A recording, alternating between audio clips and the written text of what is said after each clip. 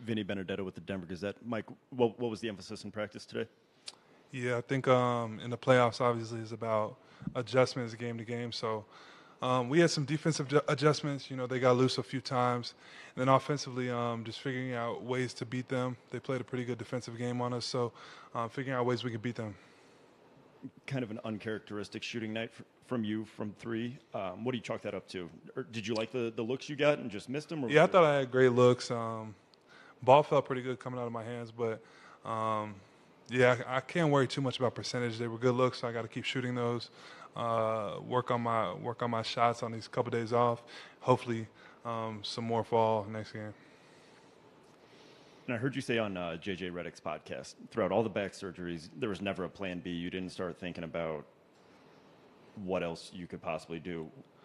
What allowed? Do you think that approach kind of allowed you to to be successful in your rehabs from from the numerous setbacks? Yeah, definitely. I just think like a unrelenting will. You know, no matter what happens to you, until your body can't go anymore. You know, uh, that was just kind of my my thought process. Was like I'm gonna keep working at this. this is what I love to do.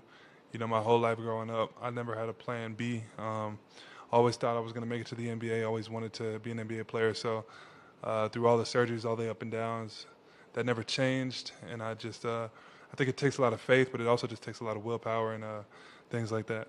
Michael, we're going to go Jeff Zillgitt. Jeff Zillgitt, USA Today. Michael, there's been a lot of talk about this Nuggets team that had there not been injuries to you and Jamal over the past few seasons, maybe you would have been here sooner. Did you start to see that develop? You know, or when did you start to see that, hey, getting to this stage was really possible? Yeah, I think um, there's really a ton of teams throughout the regular season who are good enough to make a finals run. Um, tons of things can happen in the playoffs, whether it's injuries, um, things like that, that kind of give a team an edge. So I think uh, we we knew we had this potential in us ever since this core came together. You know, since we traded for Aaron, and we we went on a good little win streak. We really we really felt like we had this potential back in the bubble. Um, we felt like that Lakers series um, could have gone a completely different way. Um, Anthony Davis hit a big game winner, one of those games to put them up in the series, and they were a really good team, so they got us there. But we knew we had the the team because we were still very young. You know, we knew if we keep this core together a couple years down the road, we could be right back here. Uh, and that's what we did. And you know, shout out to the to the guys that believed in believed in this core, kept us together, and uh, yeah, we're we're back here and we're excited. Going back to Jeff.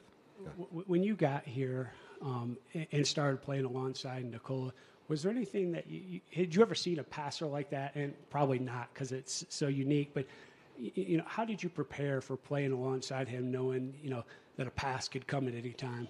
Yeah, so in high school I actually played uh, with a few with a few really really good passers. You know, they're different than Nikola because it didn't come from the center position.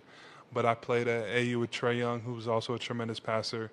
Um, we we fed off of each other. You know, he would find me for amazing looks as well. So I'm I'm used to playing alongside really really um, good good players. is a little different, like I said, because a lot of it's coming out of the post and things like that. But um, it's very easy to play with guys like that. So um, I'm very blessed to, to have good teammates like Nikola. You know, Aaron's also a very good passer. I feel like Jamal's gotten a lot better um, in that area. So um, we got a lot of dudes who make a lot of good plays. We're going to stay on the left side, fourth row. Uh, Bennett Durando, Denver Post. Mike, um, coach said after game one he thought there was a stretch in the fourth where you guys just got a little stagnant against their zone. When you look back at that, do you sort of identify or any sort of bad habits that you guys need to fix against that, or is it more so that you were getting some of the shots that you like and they just weren't going in? Yeah, we had a few good looks. I missed one in the corner. Nikola list, missed a little um, post turnaround shot. Uh, I think Jamal missed a shot.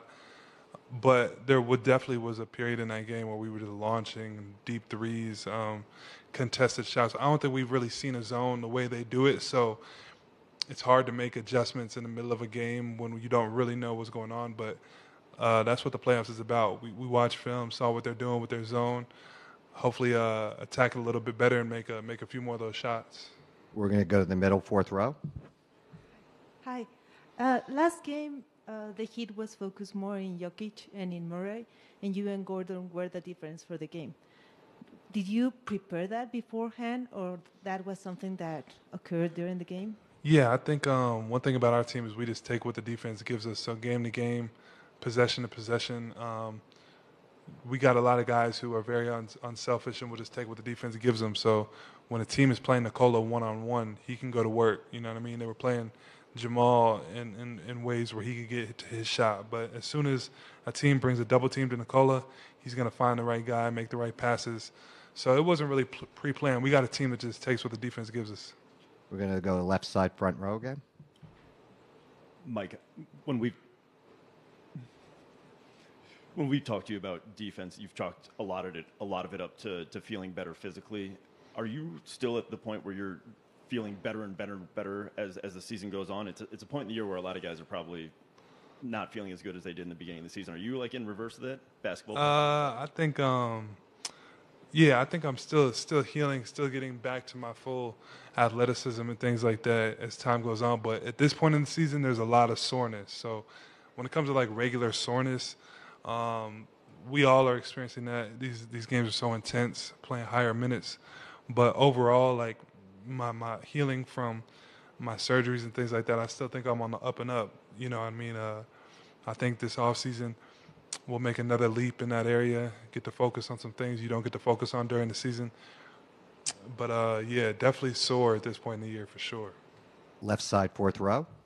This is sort of random, but you guys in Miami, both having made the deep bubble run a couple years ago, had to have been around each other in close quarters a lot. I'm curious if there were ever any funny interactions or, or just sort of what, what that was like being in that enclosed space with them, or if any memories out. Yeah, the bubble was pretty unique. I forget. So there was three hotels that uh, teams were divided in. I can't remember if the Heat were in our hotel, but uh, walking around and going to different restaurants in the bubble, you see everybody. You see uh, all all the teams, all the different players. I don't really remember specific instances running in into the Heat, but uh, it might have been because they were in a different hotel. But the bubble was definitely a unique experience. We'll take one more question for Michael. Jeff Zillgitt on standing up. Yeah, I- I'll just follow up on the bubble. What's your lasting memory of the bubble? Was there anything? Uh, I, I know it was a, a long stretch for teams that were in there. Uh, do you take away like any enjoyment from that experience? Yeah, I look back on it and take a lot of enjoyment. Um, that was kind of the first time playing with the Nuggets where I got consistent minutes. So it was kind of um, it was it was a good time for me because that still was considered my rookie season, um, and I wasn't getting a ton of time before the bubble.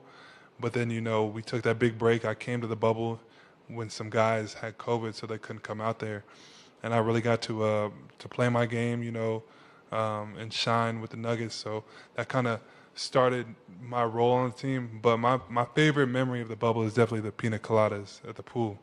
Like we would go to the pool every single day. Me, Bobo, um, Tori, Torrey Craig. We would just go to the pool and drink pina coladas like all day.